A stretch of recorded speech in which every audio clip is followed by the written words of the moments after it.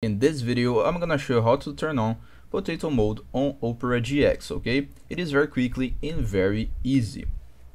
First of all, I will point out that I'm doing the process on Opera GX on 2023, but it's the same process to any year, okay?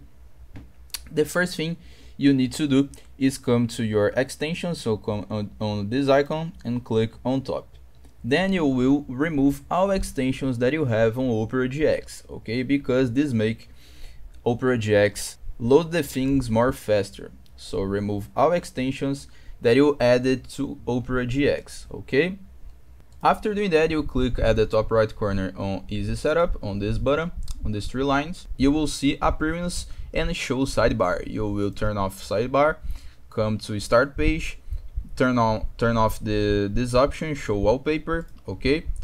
And here you will turn off all these options right here. Because all this will help you to load more faster on Opera GX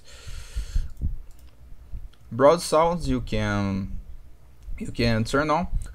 And you can also turn on this option right here okay you can also click on go to full browser settings and here you can clear the browsing data. So swipe down, click on clear browsing data and clear all data. So click on time range and click on all time. Clear data and after doing that you will make your Opera GX become much faster. Okay, so clear data and that's it. You are ready to turn on the, the potato mode on your Opera GX. I hope I help you on how to turn on potato mode on Opera GX. So if this video helped you in any way, hit the like button and subscribe to our channel to receive useful tips.